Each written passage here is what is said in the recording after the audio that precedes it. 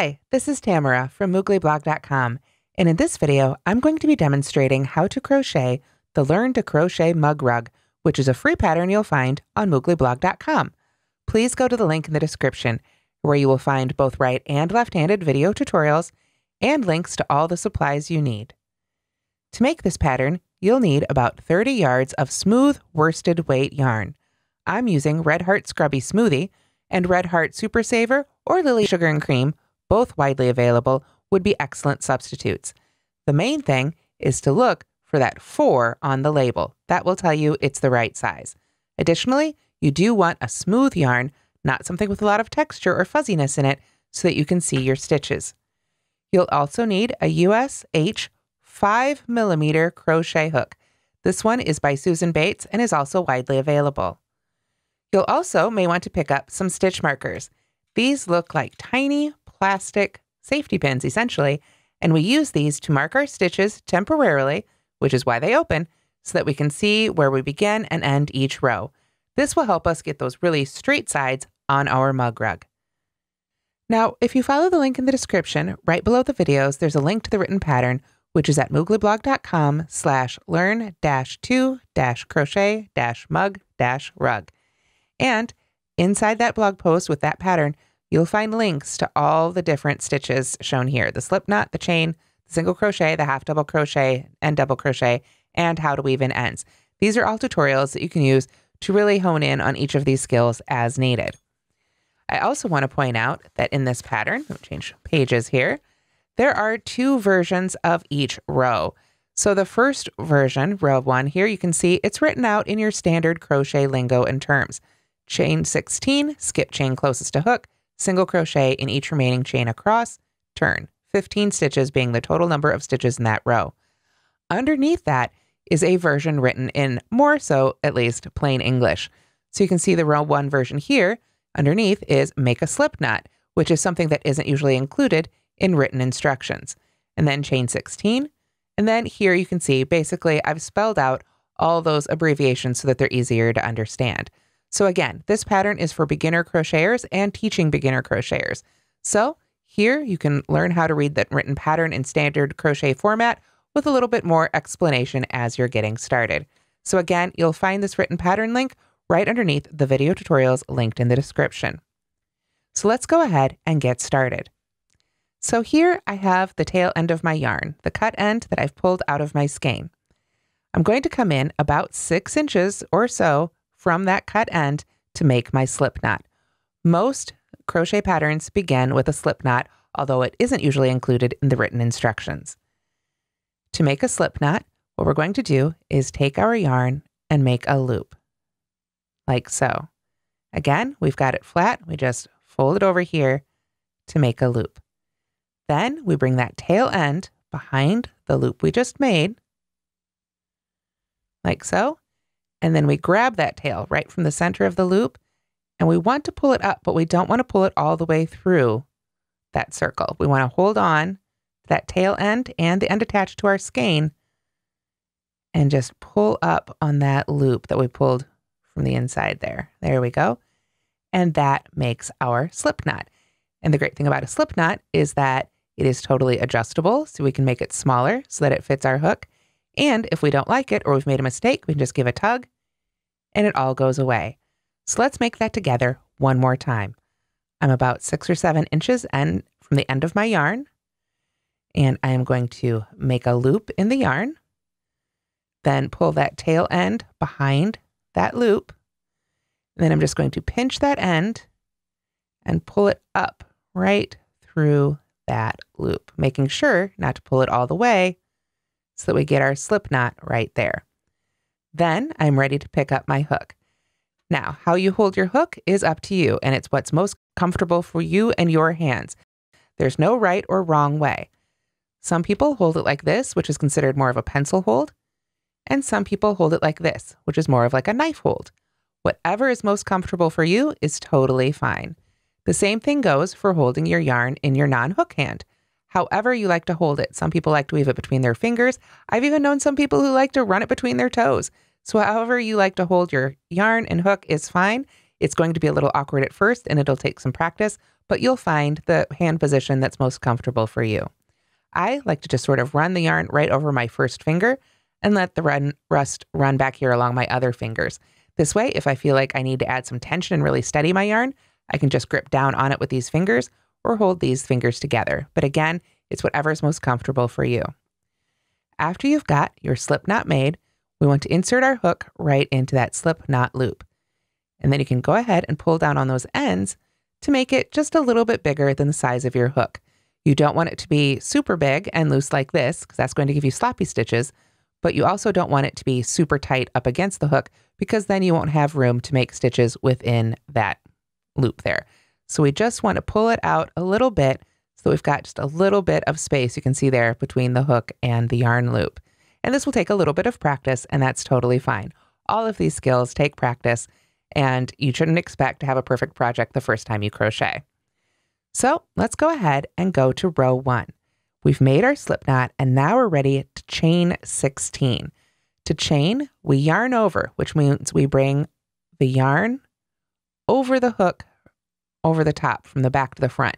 So you can see here's our slip knot on our hook, and I'm just going to bring that yarn right over the top of my hook. Then I use my hook to pull that bit of yarn through that loop that we had put on our hook before. You can see there, that's why we don't want that to be super tight. We need to be able to pull back through there. So right there, that little bit we've made right there, that is our very first chain. What's on our hook doesn't count as a chain, but this right here does. And you can see right at the top, it's got this sort of a V shape if you look at those two strands. And if I flip it over underneath, sort of pull it apart there so you can see, there is one strand underneath. So that is the anatomy of the chain stitch. So now we've made one chain and the pattern says to make 16. So we need to make 15 more. So to make the rest, we yarn over again and use our hook to pull that loop right through the loop that was on our hook. So now you can see we have two chains, one and two, and they sort of make this stacked V formation as you go. So I find it can be really helpful as you're making a chain to pull down a little bit on those chains you've already made as you make the rest of the chains. It just adds a little bit more tension to the yarn there and make it a little bit easier for you to manipulate the yarn with your hook and fingers. So again, just sort of adding a little bit of tension there to the yarn so it doesn't want to wiggle around on me. I can pull it over the hook and then pull that hook right through the loop to make a chain. So now we've made three. So now that you've seen how that works, I'm going to go ahead and make some more. We've got four, five, six, seven, eight, nine, ten, eleven, twelve, thirteen, fourteen, fifteen, and 16. And you can see there, I took my time and just made each one individually. If you want to go ahead and pause this video and make your 16, that's totally fine. You can also use the gear icon to slow it down or speed it up as needed. So here I have my 16 chains made. And what I want to do is skip the chain closest to the hook and single crochet in each remaining chain across. So you've got a couple options here. Traditionally, when you work into the chain, you would insert your hook under these top two loops and above this bottom loop to work into each of those chains to make your stitches. However, I vastly prefer, and I think it's a lot easier, if we just flip that chain over and start working into those back humps. So if you already know how to crochet a little bit or make a few of those stitches, you can work that however you like. Otherwise, I recommend that you look for those back humps. And those back humps sort of line up in one straight line here. Hopefully you can see that. And I always say it reminds me a little bit of those traditional pictures we see of the Loch Ness monster. All those little humps hopping up above the water, that's what we're looking for there on the back of our chain.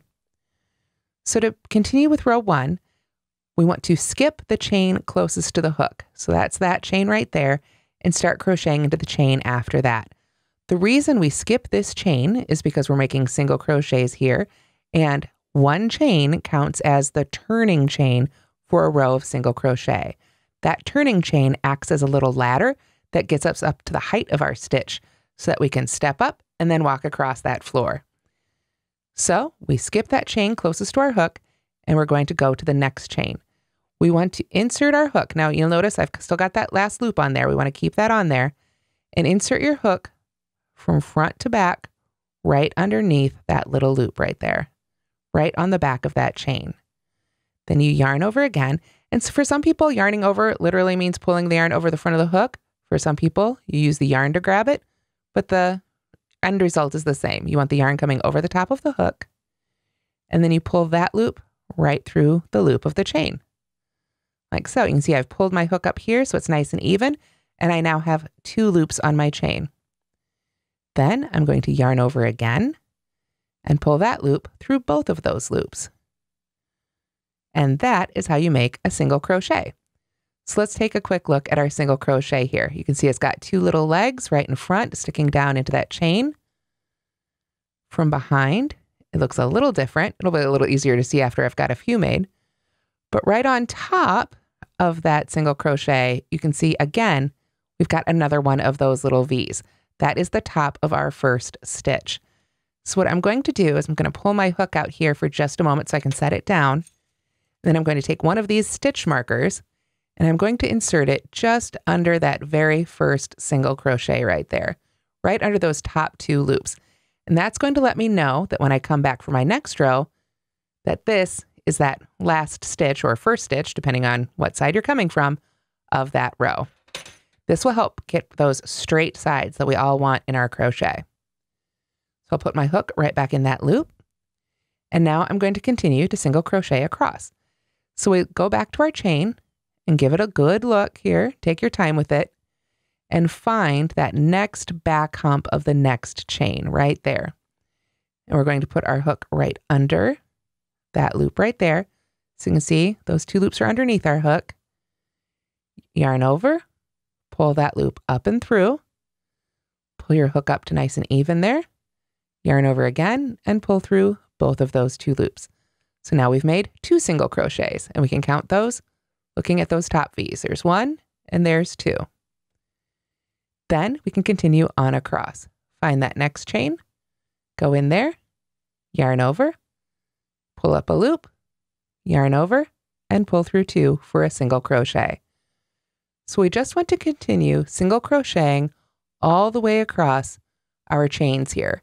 Now, since we started with 16 chains, and skipped the one closest to the hook, we should have a total of 15 single crochets at the end of row one. Now it's going to take you a lot of practice if you haven't single crocheted before to feel comfortable with this. So go ahead and take your time and work on your single crochets and I'll see you as we come to the end of row one of this pattern. Okay, so as you can see here, I've made almost all of my single crochets.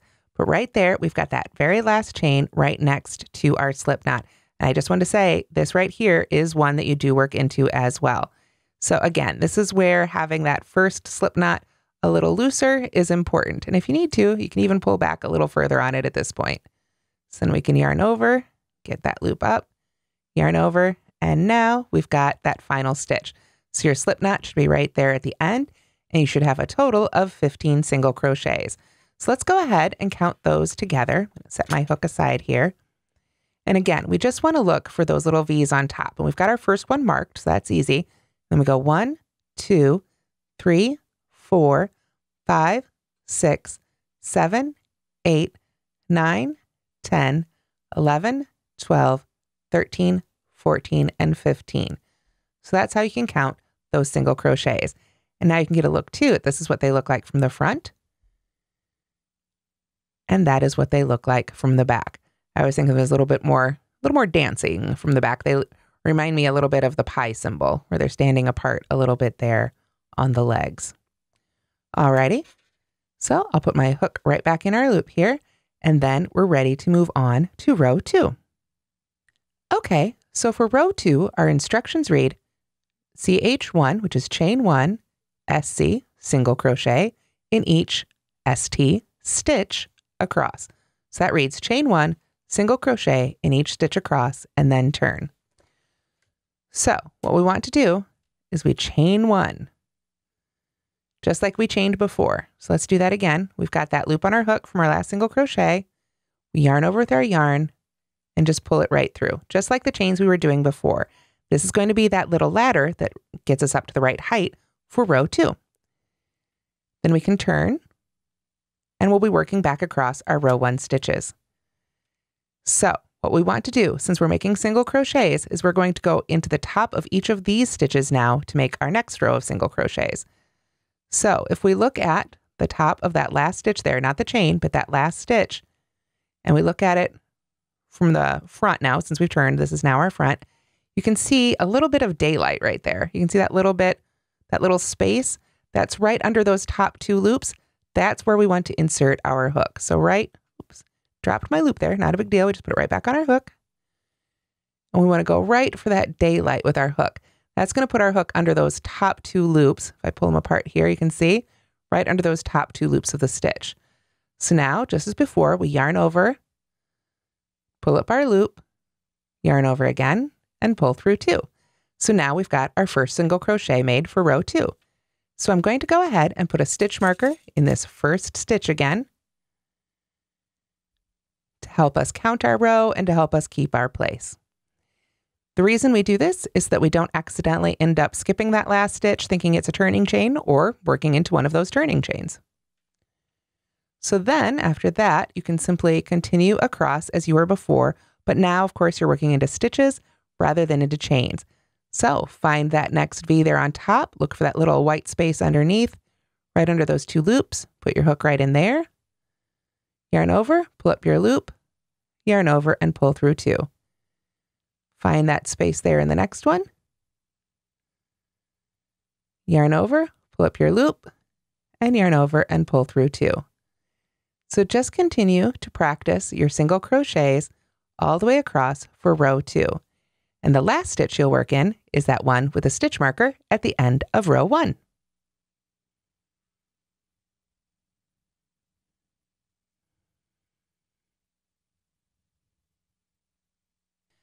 Okay, so here I am at the end of row two. So I'm just going to go ahead and put my hook right under those two loops, the same place our stitch marker is. Then I can yarn over and pull up my loop and yarn over and pull through two to finish that single crochet. So now, since I've already gotten to the end of this row, I'm going to go ahead and take that stitch marker out. There we are. And I can set it aside for later. I'll go ahead and put it in the first stitch of row three. But let's go back to our written pattern for a minute. We've got in row two, we have chained one and single crochet in each stitch across. Turn just tells us that we're going to be turning back and forth in rows. So you can chain one for your turning chain and then turn, like I just showed you, or you can turn and then chain one, whatever makes you happy. Uh, it doesn't really matter what order you do them in, it's just whatever you prefer personally. So moving on to row three, here's how it's written in standard crochet terms rep row two. Rep is short for repeat. It simply means we're going to do the same thing as we did in row two that we did for row three. For row three, it's going to be the same as row two. So for row three, would again chain one for that little turning chain, and then single crochet in each stitch across. When we turn, you can see we're just working under those top two loops just as we did for row two. So since you've already seen me do that, let's go ahead and move down to row four. Row four, we're going to do something a little different. We're going to chain one and then HDC in each stitch across. HDC is the abbreviation for half double crochet. So that's a new stitch, but it's just a small variation on the single crochet. And chain one, of course, is again our turning chain. Now, this part's a little controversial. Some people prefer to chain two for a half double crochet. I prefer to just chain one. So if you're following other patterns, you may see that handled a little differently. Um, but I think this is a great way to go ahead and get started with it. So when you're following a written pattern, you can always follow the written pattern the way it's written. Um, you know, that's what makes all these patterns unique, right? But these are the basic ideas. So let's go ahead and make row four together. I'm going to chain one and this time, because it's a half double crochet row, I'm going to pull up on that loop just a little bit before I yarn over and pull through. I want this chain to be just a hair taller than the chains I might have made before. Don't have to make it big and crazy, just a little bit extra room in there.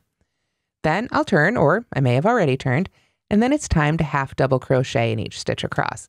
The half, half double crochet is very simple, similar to the single crochet, but before we insert our hook in that first stitch, we're going to do a yarn over. So we yarn over just as we've done before, but instead of just pulling that on through, now we're going to go through that stitch. So you can see we've got our initial loop and now this yarn over loop on our hook. So then we insert our hook right in that very first stitch, just as we did before, under those top two loops, yarn over again, and pull up that loop. Now you can see we've got three loops on the hook. So we're going to yarn over and pull through all three of those loops. And a good tip for that is after you've done your yarn over, point the pointy part of the hook down towards the base of your stitches before you pull through. That helps keep it get caught, helps keep it from getting caught rather on some of these loops. Sometimes it still gets caught anyway, but it's just a good tip to help it pull through a little smoother. Now that I've made that first stitch, I'm going to go ahead and put my stitch marker in it. Just like the single crochets, we're looking for that top V. Those two loops are at the top of our stitch. So that's what we put our stitch marker under to mark it. And now we've got our first half double crochet made. So let's make some more of those together. I'm going to pull up a little bit more yarn from my skein of yarn here. There we are. We always want to have it a little bit loose here so you're not getting a lot of tension from the ball itself. And let's make our second half double crochet. We're going to yarn over, insert our hook right into that very next stitch under those top two loops, yarn over again, pull up our loop, pull those loops all up so they're nice, nice and, you know, don't want to be too squished down to the fabric here. We want a little bit of room. We've got three loops on our hook. We yarn over and pull through all three of those loops. And now we've made two half double crochets. So you can see these are a bit taller than a single crochet. Each stitch takes up a little bit more room. It's got a little bit more going on there. There's that yarn over loop, creates that horizontal bar sort of in the middle of the stitch there underneath our top two loops. So we yarn over, go into the next stitch, yarn over, pull up a loop, and yarn over and pull through all three. And that's the only variation really there is for that half double crochet. It still creates a really nice solid fabric. So yarn over, go into the next stitch, yarn over again, pull up a loop, and yarn over and pull through all three. So go ahead and practice your half double crochets all the way across for row four.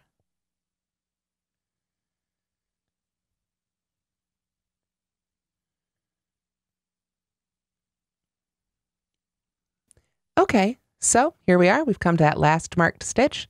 So I'm going to go ahead, insert my hook in there. And if you find there's not room, but the stitch marker is taking up too much room, you can go ahead and pull that out before you make your stitch, whatever works for you. But we're going to do the same thing, pull through all three, and finish that row of half double crochets. So then I would take that stitch marker out there because we don't need it anymore. And now we've got our 15 half double crochets. And you can see from the top, we've still got those nested V's, and those are what we count to count those stitches.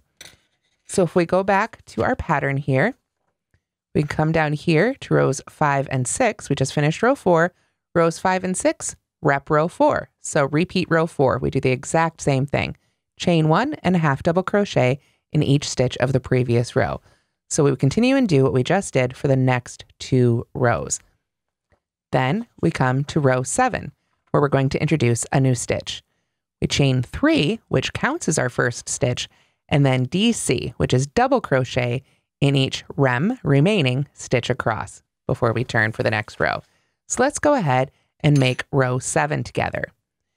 Now, row seven begins with a chain three. That chain three is going to count as our first double crochet of the row, and that is a pretty standard way of handling double crochets. That said, there are lots of other ways that you might encounter in patterns later, but this is the most basic way. We've got our loop from our last stitch here in our previous row, and we're going to chain three. So these are just like the chains we were making before. We're going to yarn over and pull through. There's one, two, three. Three chains. And these are going to count as our first double crochet of the row. This is just, it's a little different than what we've been doing before. It's still our turning chain, our little ladder that lifts us up, but it's also going to be that first stitch. So I'm going to go ahead and take my stitch marker and now I really want to try and get it under those top two loops of that last chain we made. Not the one that was on the hook, but the one that we made right, uh, the last one we actually made right there. So I've got my stitch marker right in there. So that's going to work as our first stitch. Now we're going to turn and work back the other direction. My hook right back in there. And because that chain three counted as our first double crochet, we're not going to put a stitch right in the top of that first stitch here. Because if we did that, then we'd be adding a stitch and we'd have 16 stitches instead of 15. So since this is the first one, we need to skip that little space right there and come to the next one for our first double crochet. So to make a double crochet, it's just a variation on the half double crochet. We yarn over, just as before, go into the stitch, the next stitch or indicated stitch, wherever you're supposed to go. Right under those top two loops, just as before, yarn over, pull up our loop. Now we've got our three loops on the hook, but this time, when we yarn over, we're only going to pull through the first two, stop with two loops left there on the hook before we yarn over and pull through those two. So you can see now that gave us a really tall stitch. So the single crochets were short, the half double crochets were sort of a medium, and now we've got a really tall stitch with the double crochet. I'm going to pull up some more yarn from my yarn ball here, and we'll do a few more of those together. So let's make another double crochet. We're going to yarn over, find that very next stitch of the row, insert our hook under those top two loops of that stitch, yarn over again, pull up a loop. We now have three loops on our hook, yarn over, pull through two, stop again, yarn over, and pull through two. Let's make another one. We yarn over, Insert our hook in the next stitch, yarn over and pull up a loop, yarn over and pull through two, and yarn over and pull through two. So that is our double crochet. Now you can see there's a little bit of gap there when we don't work that first double crochet in that very first stitch, but we just have that chain three as our first double crochet. And again, that is standard with this technique. I think that's why people have invented other meads to start those rows. But for now, when you're learning to crochet, this is the method that you learn first. So let's continue on across. Yarn over, go into the next stitch, yarn over and pull up a loop, yarn over and pull through two, and yarn over and pull through two for a double crochet. So continue to double crochet all the way across here for row seven.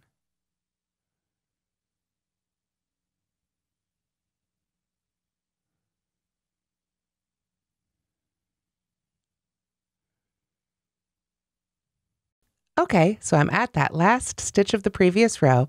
So I'll go ahead and put my final double crochet right in there for our row seven. There we are. And then I can go ahead and pull that stitch marker out of the way. So there is our row of double crochets. You can get an idea how they are a much taller stitch. There's a little bit of space there, a lot more sunlight in between around what we call the posts of the stitch. We've got the top of the stitch, the two loops up here, and then this is the post of the stitch, the part that sticks down into the next stitch below there. And that is what your double crochets should look like. Now, if we come back to the written pattern, you can see row eight is rep row seven. So exact same thing, chain three and work your way across. The final stitch, remember, will be under those top two loops of that chain three. So let's continue to read through here and we'll make another row together because I do want to demo how to work into the top of that chain three. But at this point, you've actually made all the stitches. All that's left is to weave in the ends and add the tassels. But basically, we're going to go through rep uh, rows 9 through 11, rep row 4. So that means you come back to row 4. It's spelled out right here. Repeat row 4. Follow the same instructions for all three of those rows. Rows 12 through 14, repeat row 2. That is our single crochet row. So we come back and repeat our single crochet rows. And then finally, we get to the finishing. So if we look at our finished mug rug here, make sure it's turned around the right way. We have a few rows of single crochet and then some rows of half double crochet. Then we've got our nice tall rows here of double crochet. Then it's back to half double crochet and then back to single crochet. So you get to experience all those stitches, but it's just as exactly as we've been doing here, just working into the top of the previous row. However, like I say, working to the top of that chain three is just a little bit different. So let's go ahead and make some more stitches together. For this row, let's go ahead and make some more double crochets. Again, I'm going to chain three, and that will count as the top of my first stitch there. There we go. So I want to go ahead and get that stitch marker right in the top chain. under those top two loops so I can find it later. Just makes it a little easier. And then I'm going to turn. Then you can yarn over, find that next stitch. Remember when you're making double crochets and the chain three counts as the first stitch, we don't crochet into that first stitch. We come to the next one. Insert our hook, yarn over, pull up our, our loop, yarn over and pull through two, and yarn over and pull through two. So I'm just going to continue double crocheting my way across this row until I get to the very end there where we need to work into that chain three as if it were our stitch because it does count as our first stitch. Now, if you really don't like the look of that chain three, I think it's a big, um, you know, sticking point for a lot of people. Like I say, there are lots of options out there. Um, after you've mastered the basic stitches, you can definitely check those out. Probably one of the simplest workarounds is to simply chain two and not count it as the first stitch and work a double crochet into that first stitch. But again, that's something um, you might encounter in a pattern.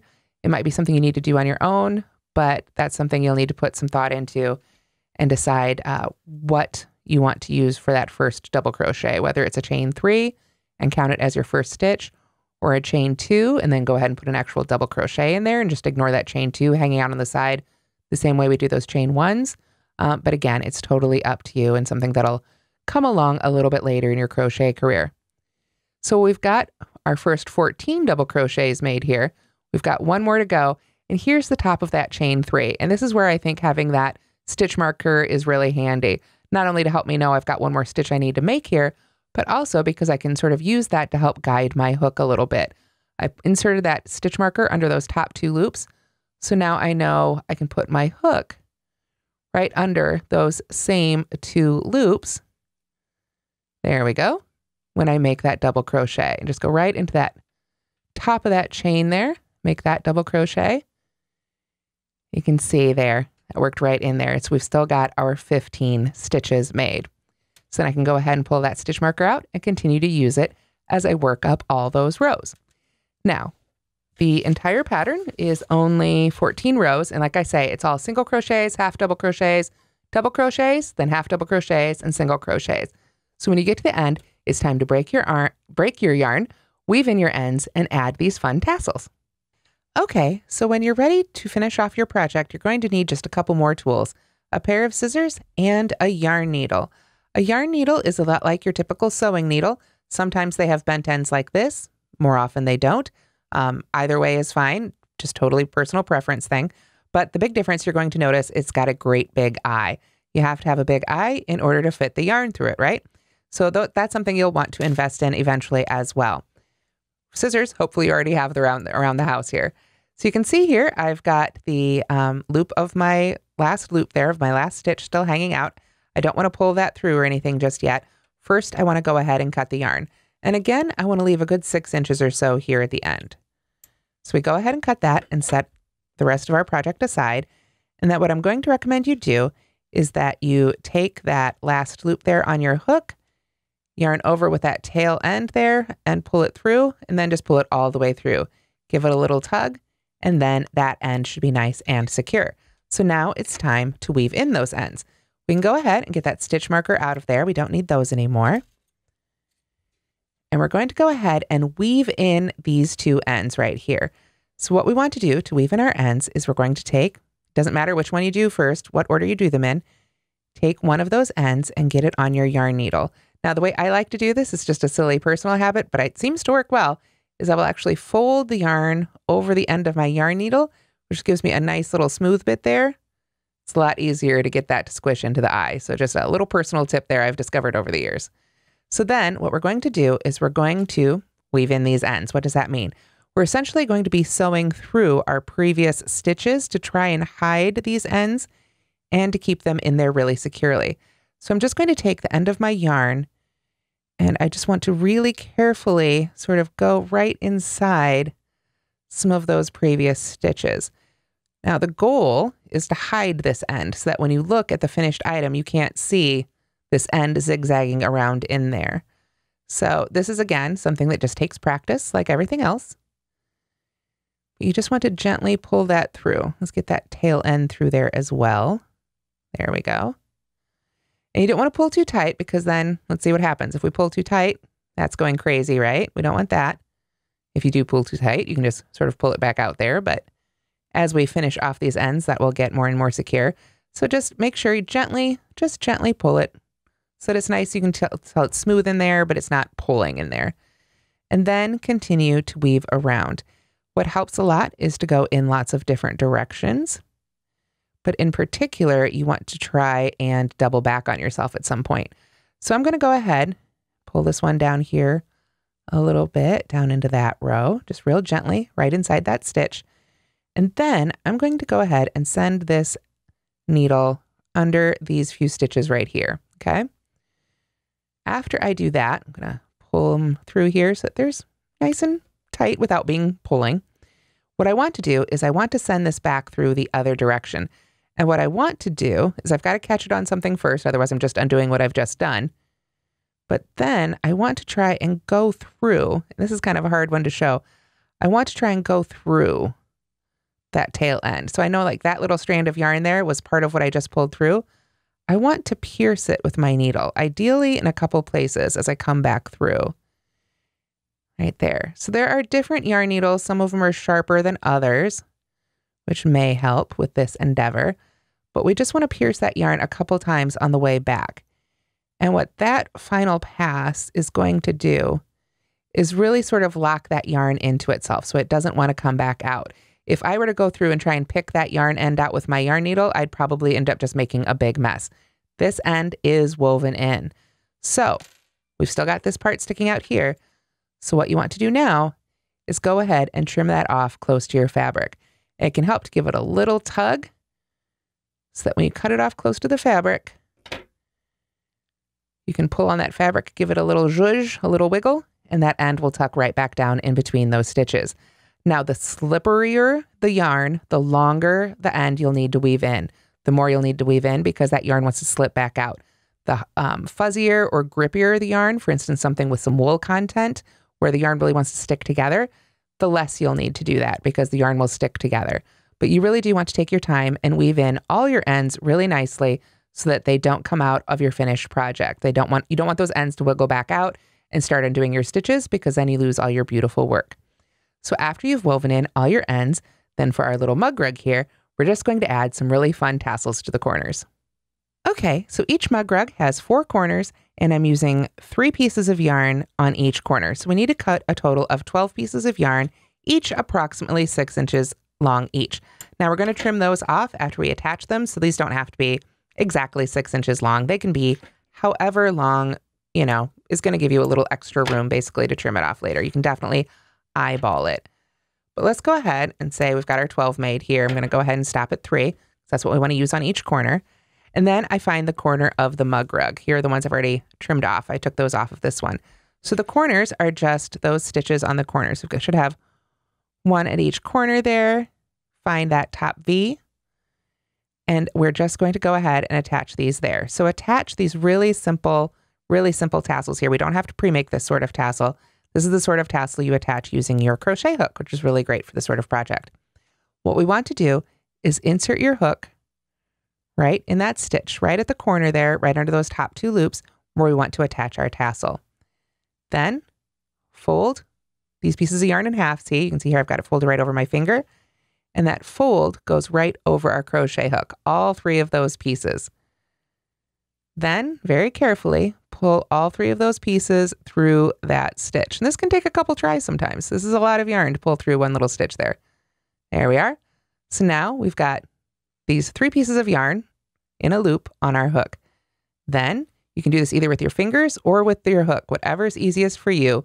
But we want to pull these ends through that loop. So let's go ahead and try it with our hook here. You just use our hook and we can't really get all those pieces of yarn in there, but you can just sort of push it through or you can pinch through with your fingers, whatever's easiest for you. Just get those ends up through that loop. Then give them a little tug down. You can see there, we've got our pretty knot. So I like this side of the knot as opposed to this side. So in order to get this portion on this side, I have to come from this side with my hook. So come from underneath in order to get this portion on top. Once you've got that tugged on nice and tight, then you just go ahead and take your scissors and trim those ends off to whatever length you like. Oops. Just try and get through all the strands there. And go ahead and do that on all four corners, and that's how you make the Learn to Crochet mug rug. So that's how to crochet the Learn to Crochet mug rug, a free pattern on mooglyblog.com. Again, please go to the link in the description. You're going to find both the right and left handed video tutorials there. And if you scroll down a little bit below those, you'll find a link to the written pattern, which, as I've pointed out in this video, has instructions in both crochet lingo and crochet terms, or in plain English, rather. So, the great thing about this pattern is you can learn to crochet along with this video and follow along with written pattern in both formats so you can learn how to read those crochet patterns as well. So, I really hope you'll check it out, and I hope you enjoy learning to crochet. Thanks so much for watching, and don't forget to like and subscribe.